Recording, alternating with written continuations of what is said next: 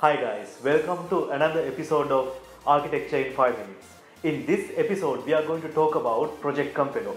To talk about Project Compello, we have the ideal person with us, uh, architect and the team lead of Compello Invoice Approval, Risanaya. We welcome you to this episode. And first of all, tell us about the Project Compello and in what sort of domain that you guys working on.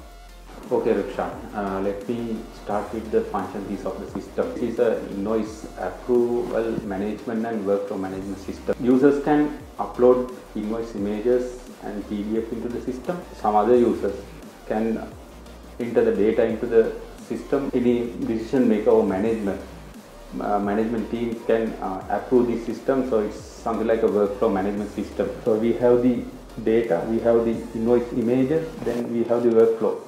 So based on these objects, we are uh, managing this application.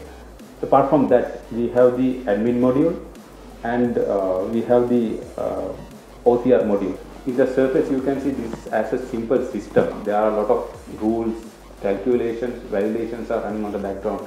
So in terms of development, there are a lot of uh, things we need to do in the background.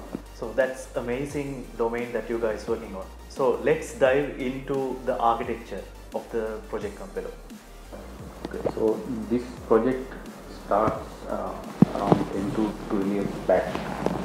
So the, the project initially, this uh, project was a on-premise solution with a tiered architecture.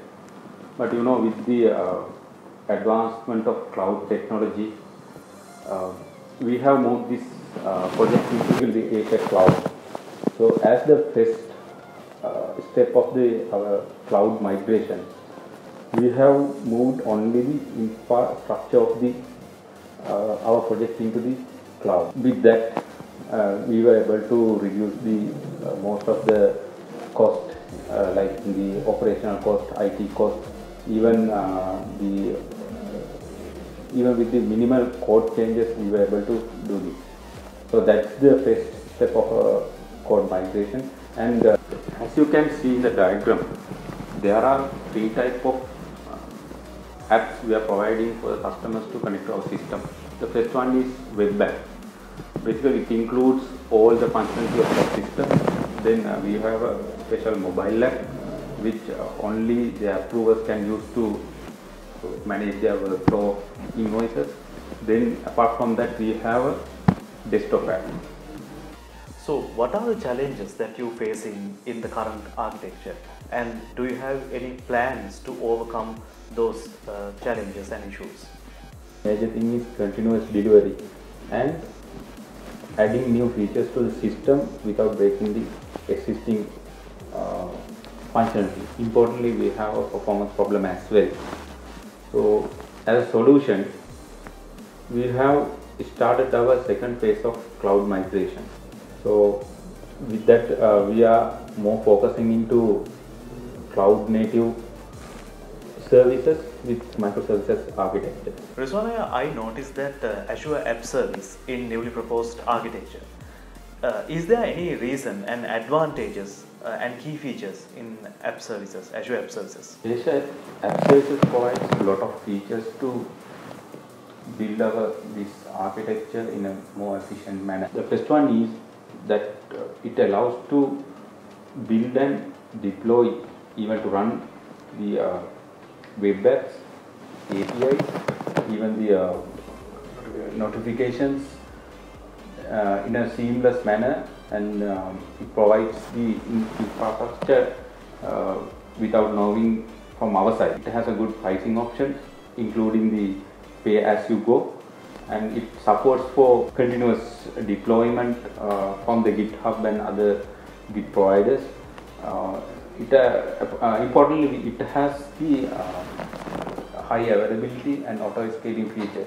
So those are the main features it provides for us to develop microservices in this uh, Azure platform. If you take the Azure function, it allows to decompose our application into smaller set of code pieces that will uh, that we can uh, develop, build, then uh, we can deploy, and we can execute even we can test, even we can manage independently.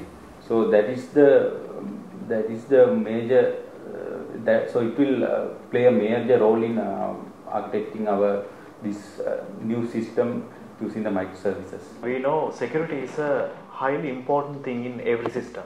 So apart from all, what are the security measurements that Azure provides uh, for our newly proposed architecture? One of the main uh, feature that provided in the Azure is uh, virtual private cloud, where you can create your own uh, network within Azure, so you will have more control over the resources you have hosted in the Azure ecosystem security center, where you can manage the security of each services and it provides the uh, security issues things you can do to improve the security. So likewise uh, it has a lot of uh, security features uh, built into the Azure system itself With that answer, we can conclude our episode. So, thank you so much, Rizwanaya, spending your valuable time with us. And see you guys on next episode of Architecture in 5 minutes.